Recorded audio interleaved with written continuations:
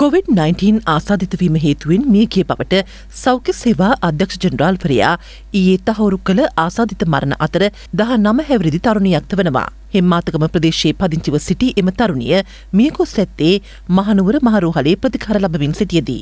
Covid නිවමෝනියාව ඇදුම අධිරුදුර පීඩනය සහ උග්‍ර දියවැඩියාව මරණයට හේතු වී තිබෙනවා. ඊයේ වාර්තා වූ සෙසු ආසාධිත මරණ හතරම වයස අවුරුදු පණහා ඉක්ම වුවන්. ඒ අනුරාධපුර පදිංචිව සිටි හැත්තෑ දෙහෙවරදි කාන්තාවක් දර්ගා නගරී පදිංචිව සිටි පනස් එක් හැවරදි කාන්තාවක් ජාල පදිංචිව සිටි පනස් නව හැවරදි කාන්තාවක් සහ කොළඹ හය පදිංචිව සිටි හැත්ත අට හැවරදි පුද්ගලයෙක්.